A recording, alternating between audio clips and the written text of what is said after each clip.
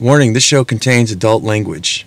Welcome to another edition of Up and In It. I'm your host, Adrian Babashoff, and if you're new here, welcome as well. And if you're wondering what the show is about, it's entirely dedicated to improving quality of life for both people and planet through liberation and independence, moving you from surviving to thriving and living life on your own terms. The urban permaculture backyard. I have not done a lot on permaculture lately, so I figured we would start with one, and what better place than your own backyard. Now, you got to figure out if this is worth it for you. Um, there's a lot of things you got to understand about your soil health. Is this a, a good return on investment and ROI? Not, I'm not sure. Uh, building habitat for, for animals and actually working with nature in such a confined space, is it possible? Well, let's talk about that. So let's get started in right off the bat here. The soil building and health. Uh, why would I put soil building? Because most, most of you guys aren't probably aware that when you live in an urban environment, uh, you know, they have to scrape. You ever seen like the new plots where they're building new homes? If you look, it's completely flat. They actually will come and level out sometimes an entire hill. They'll take all that soil and they'll move it to wherever they can and dump it off. But what you've got there is soil that's never seen uh, the sun, that's never seen vegetation. There's only so much uh, penetration that roots and trees can go down and actually cause life and cause a balance, an equilibrium for soil microbiology and things like that. So most of you guys are probably living on soil that has been scraped away. Now you got to understand organic matter and stuff, depending on where you live, there's only so many feet on the top. That's where the abundance, always, as we say in permaculture, is the edge. Wherever there's an edge of something, there's the most abundance of, of life. There's different microbiology, a lot of different things going where the edges meet. Well, right at that topsoil, that's all been removed for you. So most likely, we're going to have to build that up. Uh, and it doesn't matter whether this property was, say, uh, done like built in like the 70s or uh, maybe 10 years ago. It takes a long while for that microbiology, for that soil to, to actually heal itself, depending on what was done and what kind of environment you live in. So we definitely, regardless whether your soil is good or not, we want to start building up soil immediately as soon as possible and we want to check out the health of the soil. So if we're going to go for a permaculture backyard, before we plant a tree, a shrub, a vegetable, wild edibles, anything, the very first thing we're going to want to do is check out your pH, in my opinion. You need to know what that pH is because, see, the significance of this is most things, which is very fascinating, most things need to a pH balance of anywhere from 6.5 to 7.2. This is the acidity, acidity and the alkalinity inside whatever we're measuring. In this case, it's our soil. What's interesting though is that your body will function the best at that at those pH systems. Your urine should come out and your saliva should come out at these at 7.2 to 6.5. The water that you drink uh, is a, is best at 6.5 to 7.2. Aquaponics water, if you're growing fish with uh, food, the best pH is 6.5 to 7.2. You may hear a little bit of variations, but that's pretty much right there in the sweet spot. And the reason why is a lot of nutrients are locked up. Magnesium, copper, uh, phosphorus, all of these different things if it goes too acidic, it blocks out certain uh, um, nutrients and things like that, certain uh, uh, vitamins and minerals. Whereas the sweet spot is between 6.5 to 7.2, you do not get the full capacity of everything, but you do get a general multivitamin basically for whatever it is that you're doing. So you'll need to know because in some cases, especially if that soil has been scraped in the, your backyard, you may have a high alkalinity like we do here in, in North County, San Diego, California. There's a lot of alkalinity in the soil and that's not bad. It's it's not it's not very good. It's not very bad, but it could turn to where you're going to grow such acid loving things as blueberries and they're not going to do too well in this soil so what would you do you would probably want to get yourself some pine needles or some sort of something that's going to have some acidic values in it and either pot up some of that soil try to get yourself a good mixture or if you're growing in the ground stick a bunch of pine needles over that area and, and just keep that keep it up keep putting those things there to keep that area uh, acidified because we got to think of our soil like a sponge. You can imagine if you had a wet sponge and you placed it on your uh, kitchen sink and then you took a bunch of dry sponges and surrounded it. What's going to happen? It's going to leach all that water out into the other sponges and evaporate. That's constantly what's happening. You got to imagine you're not living in your little paradise, your little sponge. It's a very huge, giant sponge. And if we're going to go and try to throw such things as pine needles using a natural resource that, uh, to acidify some uh, uh, ground, some soil that's uh, very alkaline, what's going to happen? It's just going to start leaching away. I want to talk about water and stuff like that too, because that's very important. So yeah, you got to know your soils and you got to know what you're working with, and then you can start planning accordingly. Uh, that way it gives you an idea whether it's too acidic, too alkaline, because you start adding uh, different types of compost, blood meal, bone meal, feather meals, uh, whatever have you, all these amendments. And I think that's where people get wonky in their backyards is that things start to uh, uh, get get out of balance. So you may be putting more acid on an acidic soil, and now you've got problems and things won't grow. Uh, ask Geoff Lawton, uh, the prince of permaculture, what would be like if he can get two things, what would he get? He said he'd get a soil test and he'd also get a surveyor's uh, a level. Uh, those are the two things, the major uh, two tools that he thinks are the most uh, strategic and most important. So yeah, soil building, and we can make a whole entire show off this. And I would really, really like to do long, long shows. I just can't afford my budget to do this because I run a few other podcasts and stuff going on. But uh, we're going to try to keep this one down to 20 minutes. So we're just kind of brazing over. I'd love to hear if you guys would like me to zero in and niche down on one of these particular topics. There is an email down at the description below where you can get a hold of me and do so. All right, so size matters as well. Uh, size matters as well because I was telling you about the absorption of the vitamins and minerals that you're going to start uh, amending your soil with and building your soil health. Well, size matters because a larger area let's just put it this way. I'll kind of give you guys a lesson from aquaponics. There are a lot of things that can change very quickly uh, in, in, an aquaponics system and say a greenhouse is another good example in a small aquaponic system, whether it's a disease or a change in pH, happens very quickly because it's just very small space, right? You have a tiny little area, but say you have a backyard that's, I don't know, a tenth of an acre or something. A lot of different things can happen in there if you start putting additives or just heavy rainfalls and things like that to wash things away. Whereas in a larger space, like a larger greenhouse is the same thing. If you have the sun that comes out to heat that, it's going to heat up very slowly and it's going to gradually cool down very slowly. Whereas a small little tiny greenhouse will get so hot so fast uh, within like an hour, it'll actually burn and bake your plants. So you want a large area. The larger you have, the more room it has for things. So uh, size is a, is a very important factor if you're going to start doing permaculture because permaculture also is something that doesn't happen overnight. It's not like you just go and throw nitrogen and stuff the way we've uh, originally been doing farming and gardening and things like that. We want to start introducing things naturally. So in a very small space, things can happen quick, but I think you have to be careful of even such natural things as clamshells or pine needles and stuff like that because you could get a concentration very quickly uh, nudging nature to just make this big change. And then equally, you get a big rainfall and you don't have enough places to divert water.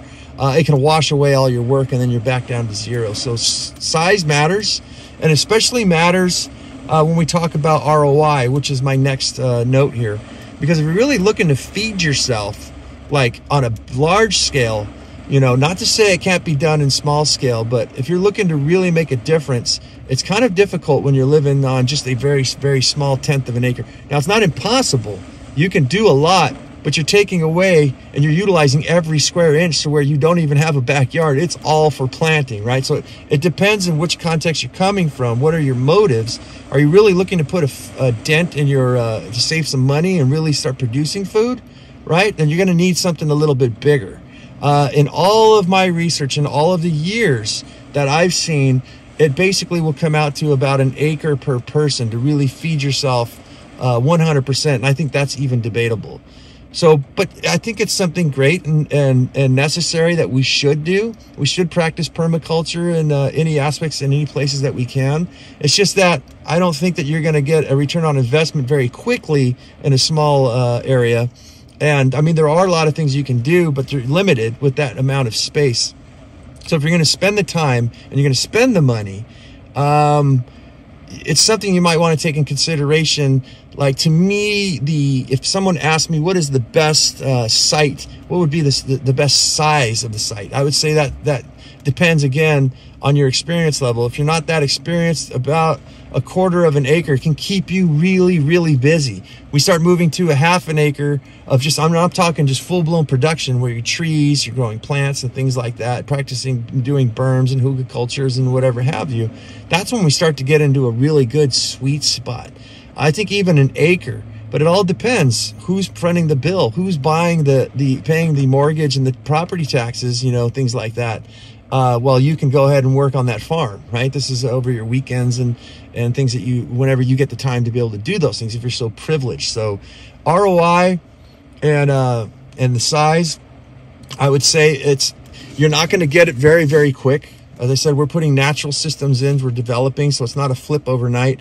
I do have some strategies where you can use wood chips to actually regenerate the soil, rebuild soil, create soil and what you can do, and my suggestion, was is to start off, especially if you're just beginning permaculture, is start planting some vegetables inside of uh, containers.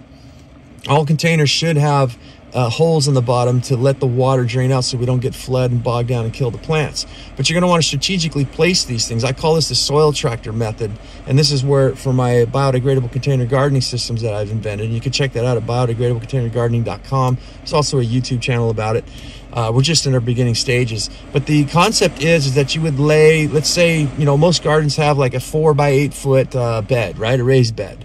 Why don't you go and just stack a bunch of wood chips in a four by eight formation? Get yourself a bunch of containers, grow some vegetables, place these containers just as you would in a raised bed right over uh, that area of the ground and what you can do is all of the juices from the compost, the worm castings and blood meals, bone meal, feather meals, whatever you put calcium, all of that kind of stuff starts to leak down in through the wood chips down to the ground, which gives vitamins and minerals for the microbiology. Uh, uh, the plants, if done right in my systems, which are burlap sacks, which we're growing in, the roots are penetrating through the burlap sacks. They're reaching down in through the, the wood chips and they're placing their roots down there to give something the worms to feed on and actually feed on themselves to get whatever nutrients are in that soil depending, on the depletion level.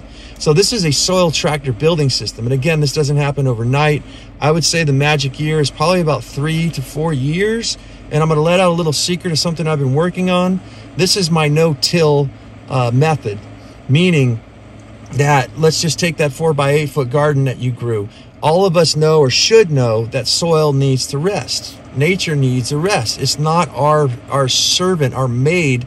And what we need to do is grow some food on it and then just kind of let it sit feral for a little while. Let everything kind of rest. So in my opinion, you would go and you would harvest some food one year, maybe two years. By the third year, out of the soil, which which I mean, uh, once it's built up, and, and you're going directly in the ground, after about two years of growing, or maybe every other year, uh, what we'd want to do is not plant anything. Just stack a bunch of about a foot of wood chips over that area, place our container gardens over that, and let that just sit for a while. And as the, the year goes by, what's happening is all the wood chips are decomposing. The roots are kind of going in there. They're getting some nutrients and things like that. But a lot of the juices and stuff are revitalizing the ground again, right? So we don't even have to flip the dirt over. Because a lot of you guys probably don't know it, that talking about surface again, that the surface is where all the microbiology and stuff are creating all the organic matter. They're chewing stuff up. They're pooping, peeing, breeding, dying. The worms are right there at the surface because it's nice and cool and moist and there's oxygen. And when we remove those wood chips, we usually expose all of that. So what we'd want to do, instead of removing the chips, and then getting a blade and literally slicing up the ground and flipping it over, which pretty much kills everything. Leave all everything at its home and in its its natural state. And what we'll simply do is poke little holes with our fingers or a stick, plant our seeds in there without turning anything and let things grow. Uh, when we're done with it for that, for that year, we'll simply cut off our, our plants, maybe lay them in the dirt, cover them up with wood chips, and you get the point, and then we're gonna let that sit for a whole year. That way we always have uh, vitamins and mineral remineralization of the soil and, and the soil health and the microbiology to build itself. But again, this comes back to ROI.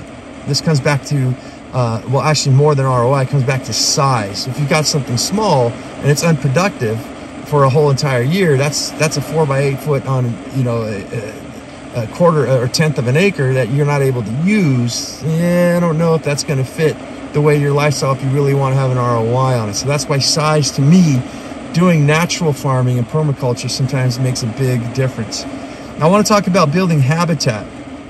Uh, very important here I know a lot of us want to produce our own food, especially in our backyards. The problem with urban gardening and, and urban living is that we've cemented everything off. We have we spray pesticides and herbicides, and we've we've grafted, we put trees and things in places where we think that it's going to be work well, where it's the best.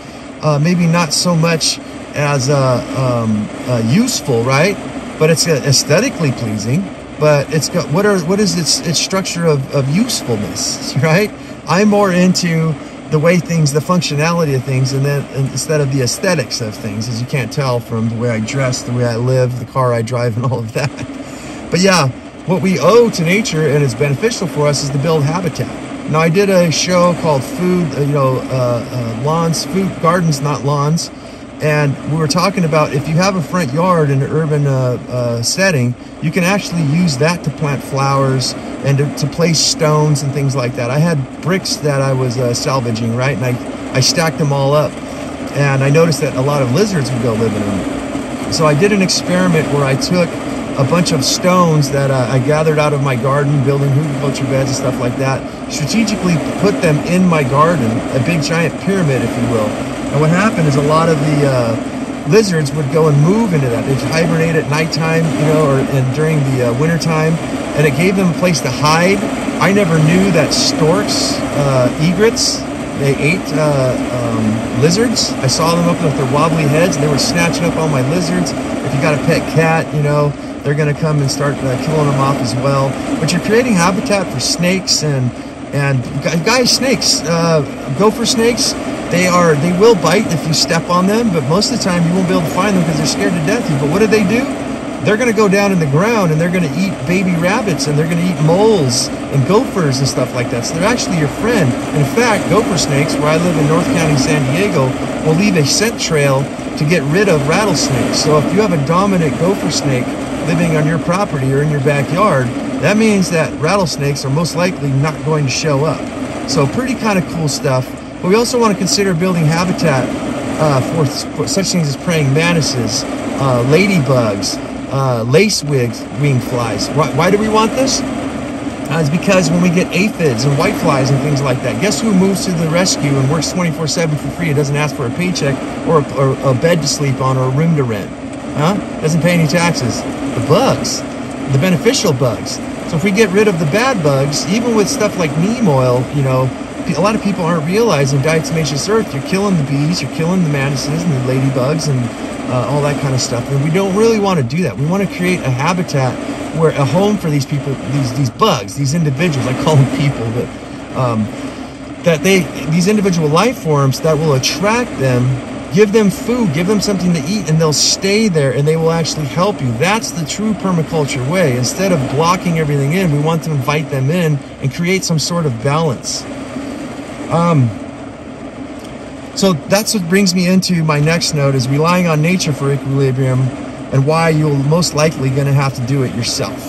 So we've fenced stuff off, we've blocked a lot of things, and that's not really good because just like I mentioned with the snakes, most likely if you're in an urban setting, you've probably never seen a snake in your life. It's because there's no habitat. There's no way for them to get in. You got your brick wall around you. There's uh, miles and miles of asphalt and all kinds of things. And if somebody did see them, very sadly to say, a lot of people run them over and it makes me very angry, pisses me off. Um, so I think one of the biggest struggles that I've had uh, gardening in urban settings uh, is that is like mice and rats. They will come in and eat all of your seedlings. So I look at this as, and you're probably going to trip out on this. Some of you guys are probably going to be like, "That's not right." But you got to set mouse traps up, and you got to kill the the the balance yourself. Uh, it's either you or it's them. There are tons of areas where people aren't trapping. Uh, please don't use poison, guys. The owls at nighttime, even in urban settings, uh, they will come if there's abundance of rats and mice, and they will eat loads. I forgot how many ridiculous amounts of of uh, gophers, voles, and mice and stuff like that. The problem is when you set out those traps, uh, it poisons the, the rat or the mouse or the gopher, and then guess what? The owl comes or the hawk comes to eat it, and then they die.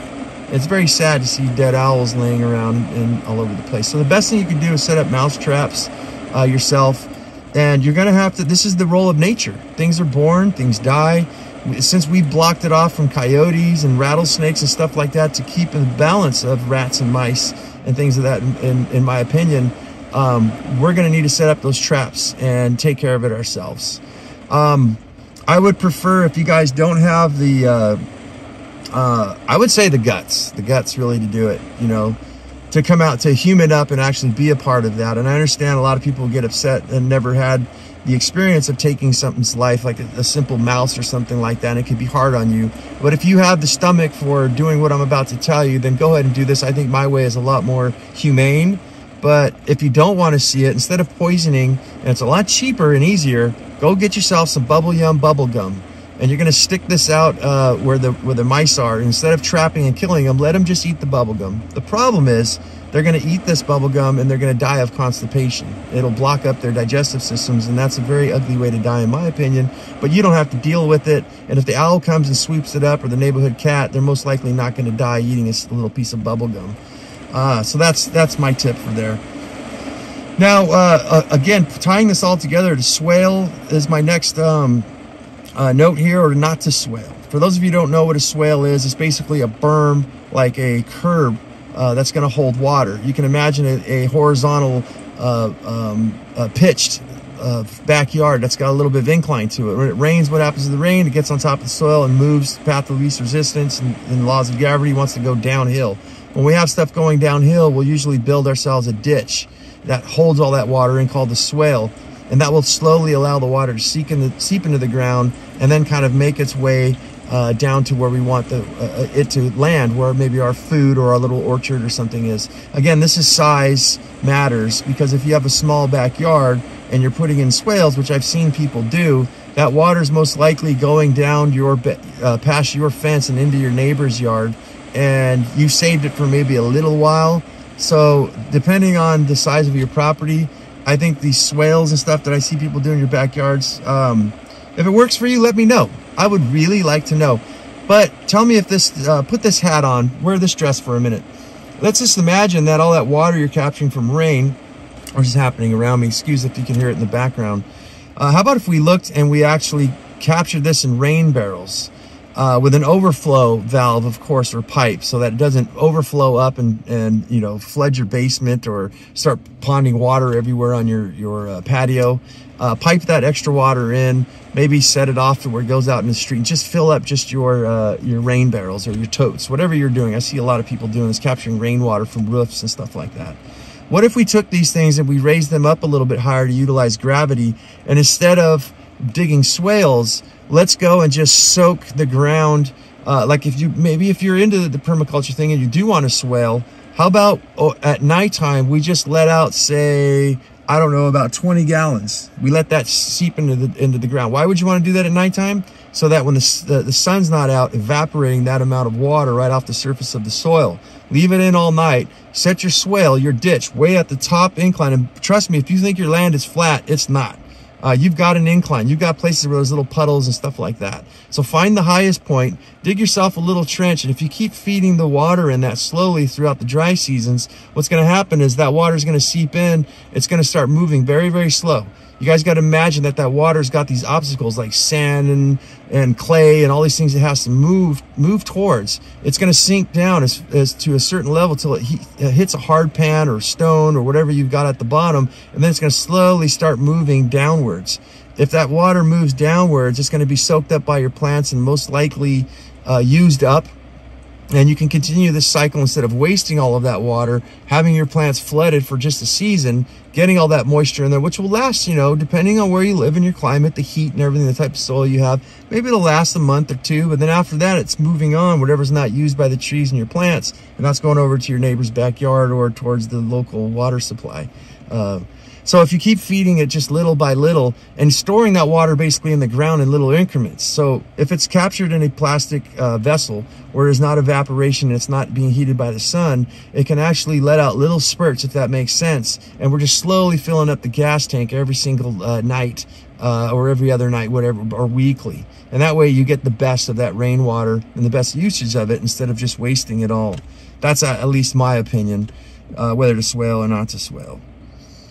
All right, so the best thing that you can do, uh, we are running out of time here, is uh, uh, vertical applications, especially for small, small areas, even on half an acre. Once you start going vertical, it changes everything. Um, this philosophy here in life is, I think, could be used beyond gardening. Uh, for instance, when you build a house, like they say, the air, there's no taxes in the air. So when you build up, you don't pay more property taxes because you still have basically the same square footage. The more size you take out outwards, the more money you pay. Well, it's the same thing that you're going to pay in, in the design of your backyard, your permaculture urban backyard. Uh, you're gonna. There's only so much land you can use if you started doing aquaponics, uh, hydroponics, uh, uh, what is that? Uh, aeroponics, raised beds, wicking beds, and all these kind of things. If you take over the whole entire surface, you're using up all the flat land. As soon as we go and trellis something like, say, zucchini, uh, which are definitely able to be done, your tomatoes, your uh, your cucumbers and things like that. Almost so many things could be trellis, guys. It's not just uh, uh, beans and stuff like that. But we start utilizing the air and now it starts bringing up more space and now we can start layering things. Uh, for instance, you guys can take my drop and forget method, which is just grab some bunch of seeds, save yourself some seedlings from like, uh, uh, what is it, celery, which I did. I let a celery plant just grow. Didn't do anything to it it just went to seed. I didn't harvest the seeds or nothing. Everything died on the bush. The wind came and just blew these tiny little seeds everywhere. Now I've got uh, like a mess, like weeds of celery just popping up out of every crevice and corner, even at between bricks and stuff like that, guys. Uh, I, I pick them small and eat them like microgreens. Uh, and some of them might just leave. You can do this with multiple different species. So when you have the trellises up, say your beans and stuff like that, uh, especially if you understand that a lot of legumes like beans are actually um, uh, nitrogen fixers in the soil. They'll produce nitrogen. So if you go and stick stuff such as spinach and lettuce and stuff that doesn't need quite full sun all the time, especially in the summertime, you can start growing those type of things like, like lettuces and spinaches and other things. Now what happens if we have tiny little seeds such as like microgreen seeds uh, where you, if you just collect a bunch of uh, celery, and you can do this with anything, radishes, beets, and you just cast those seeds underneath the lettuce and everything. Now you got another layer of growing. That's the uh, like the seven layer food forest you guys probably heard in, in a lot of these permaculture demonstrations. Here in your tiny little backyard, you're actually growing up to three things, in which you can go even more, more than three things. You're growing three things right now, though, just off the ideas I gave you in one tiny square foot.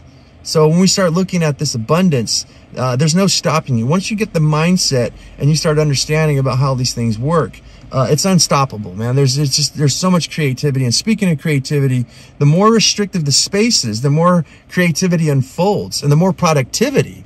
Geoff Lawton, the Prince of Permaculture, actually said that per square foot, when he's seen little tiny structures, urban uh, environments where they're practicing permaculture, they're actually producing sometimes twice to three to even four times more than the huge areas because we start seeing like you know, 50 acres or um, 50 acres is really big, I would say, but you get somebody with a five acre piece of property and they're looking more at the surface and it's a lot easier for them to just go and, and start planting stuff here, planting stuff there and utilizing most of the horizontal space. Um, Whereas when you start getting restricted and you're you're hanging ferns on the fences and you're hanging trellises and things like that, creating little water features, uh, you start to develop things and start to tighten, niche things together and try to figure out as much as you can compact in there, you're growing a heck of a lot more per square foot. I think if you took this mentality and this practice and you got good at doing this in a small square footage and then applied that, make start out at a, a tenth of an acre. Then as you move up and say you want to get a piece of property that's a half an acre or something, what you'll be able to do with that half an acre is just, it's insane you'll just blow the whole place up and you can have full abundance. And that's when I look at, I was talking earlier in my research, it's debatable that one acre is the minimal amount to sustain a person. When I looked at these videos and things that people were doing, uh, it was very flat. Now, I'm not sure, they didn't go into full detail because just like this show, they're probably allotted so much time. Uh, but I noticed a lot of stuff was flat. It was all in rows and things like that. I didn't notice a lot of vertical stuff happening there. Uh, so there's a lot, a lot. And when I say vertical too, guys, quail, you can put quail in cages. They'll drop their, their poop down. You can put ducks underneath that, which is uh, kind of questionable for me of them eating dung, but I guess that's what people do. The ducks go in, they, they eat all the scraps and obviously, I guess the, uh, the quail poop. And then they'll go into the little pond that you make them. Even if you have just two ducks, they're going to poop inside that water. Uh, and what you're going to do is drain that water every day. And guess what you're going to do? You're going to put that over in your little swale or you're going to put that as fertilizer over your garden. You're going to keep continually cleaning that water out. Permaculture, if you guys uh, started to get the bug yet, if it hasn't bit you, get into it once you get rolling, if I've inspired you today and you see the possibilities, it starts to go into everything. The philosophy is huge, especially for the lifetime of the show. A lot of the, the things that I think about in life are not just about growing your own food and living a symbiotic uh, uh, relationship, having a symbiotic relationship with nature.